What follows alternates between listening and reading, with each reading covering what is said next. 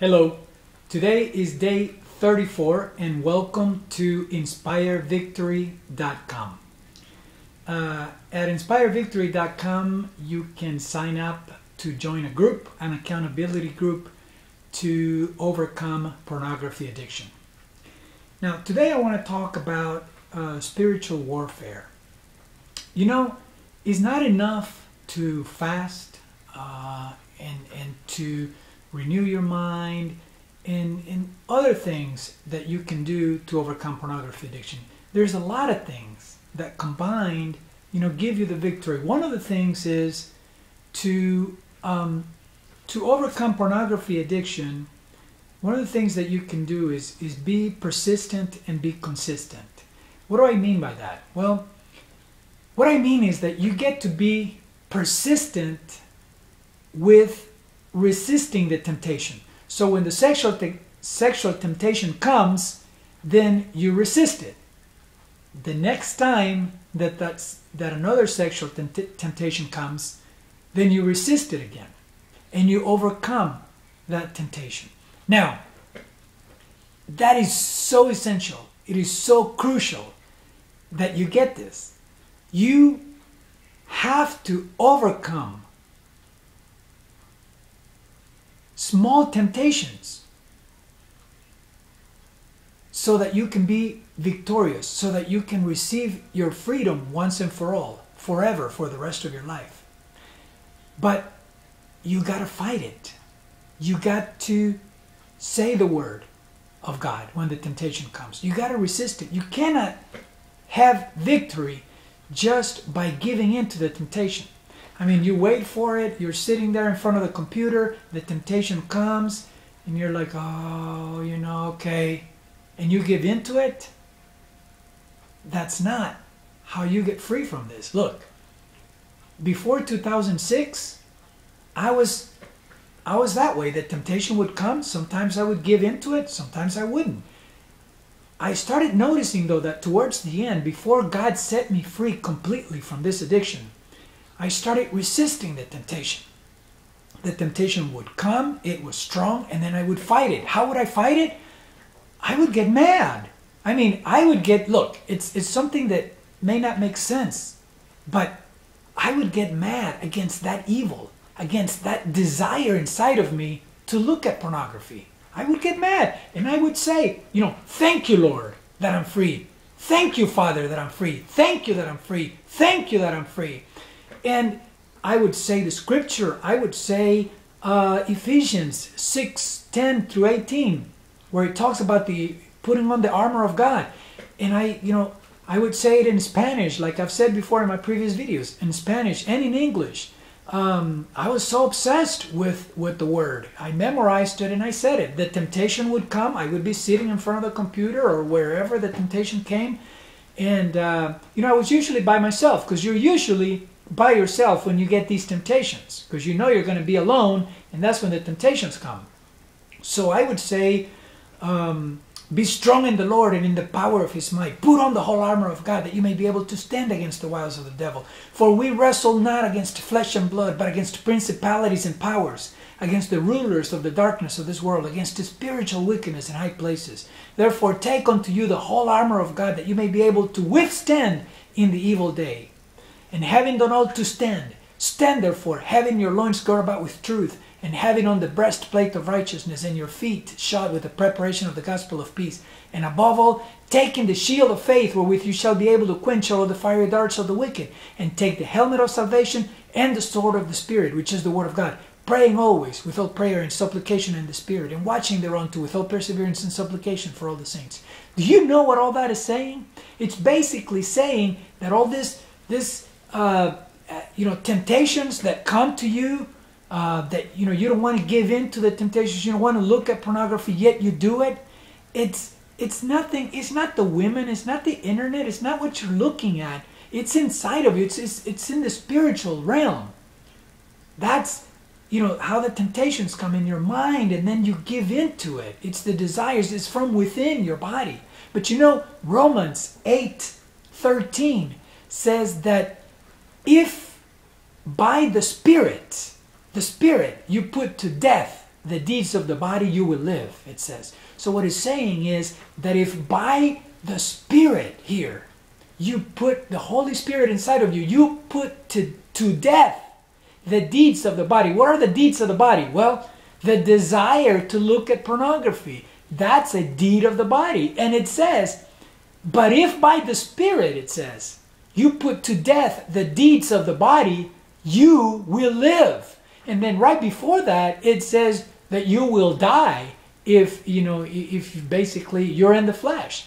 And so, what do you want? Do you want to live or you want to die? But look, what I want to get through uh, today in this video is that you got to be persistent. You got to be consistent. It's not like, okay, well, today I overcame. A, have you ever, have you ever uh, overcome, overcame, whatever the word is? Did, have you ever overcome a, a temptation? Have you ever done it?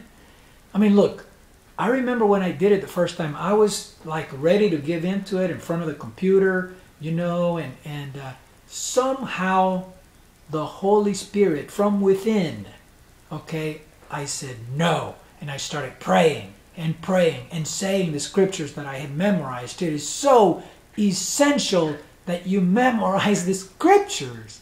Just, you know, especially scriptures that have to do with spiritual warfare. Because they have power. There's a lot of power when you say, look, you don't see it. You don't see the demons out there trying to tempt you inside of you. It's, it's like you're blinded to all of that, you know, when, when you're being tempted. But look, in the spiritual realm, you're causing, uh, uh, I mean, you're, you're making things happen. If you could just see it, I've never seen it, but you got to trust that is there. And look, the Bible says to pray always. It says in, in Romans, uh, I mean, in, in uh, Ephesians 6 uh, 18, praying always with all prayer and supplication in the Spirit, it says. So, look, the only way that I have found to overcome pornography addiction is by the Word of God. And you've got to be persistent. You've got to be consistent. Persistent how? Well, every time that the temptation comes, I remember the, the, the first time that I overcame a temptation, and it was very strong in me. Um, a, a temptation to look at pornography, I I was I was I felt powerful. I felt this power inside of me. I was like, wow. I mean, you know, I was tempted. I was ready to give in, and I started and I started kind of weakly, you know, kind of in, a weak way, saying, you know, like, oh, you know, Jesus. Uh, for though we walk in the flesh, we do not war after the flesh. Kind of like, you know, really down. And then as I was saying the word, I was my spirit was being lifted up and he was picking up strength and strength and strength until I said no and I'm resisting the temptation and, and you know after a few minutes the temptation was gone. And here's the key about the temptation.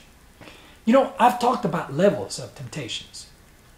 Um, there's a level of temptation that is, uh, the way I put it is, you know, from zero to 10. Okay, at a zero, the temptation is low. It's almost, it's really non existent. At a 10, is way too strong and you give in to the temptation. So I've talked about the level of the temptation, okay? Because think about it. Temptation may come to you sometimes, sometimes and you don't give in to it. It's just not strong enough at that point. But sometimes it is strong. Okay, so let's say 10 is very strong, uh, 0 is non-existent. Um, sometimes the temptation can, can come to you like at a five or a six, or it's lingering at a three, and then it creeps up to a four. I'm talking about the strength of the temptation, okay? So the strength is, is a three, and then it, after a, a few minutes, it's like a four. After an hour, it's like a five, a six, and you feel it rising up, rising up. Look, if it goes like from a three to like a seven, and at a seven you're just like uncomfortable you feel like you want to give in and all that look you've got to pray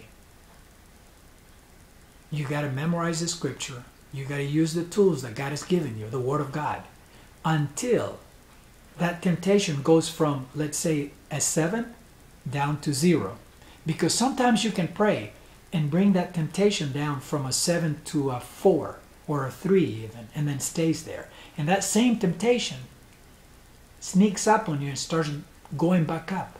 You've got to kill it. Kill the temptation. How do you kill the temptation?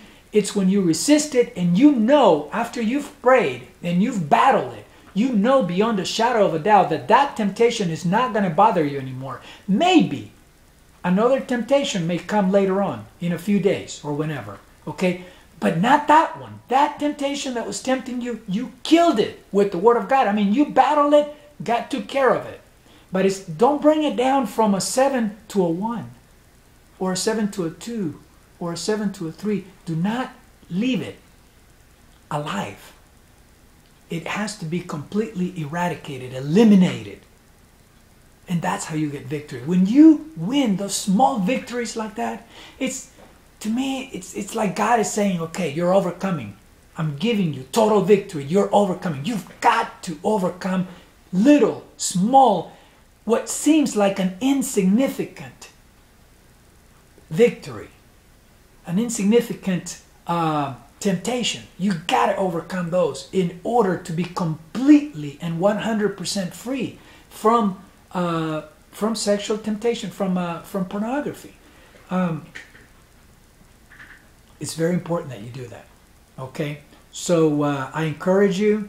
Uh, again, this is inspirevictory.com and sign up. You know, for for an accountability group, go to inspirevictory.com, sign up, and uh, and be accountable. It's in Spanish and in English. You you know, there's groups, and and you basically, um, you know, we just have uh, a conversation. We pray and we talk about these things so that you can be totally victorious. Thank you.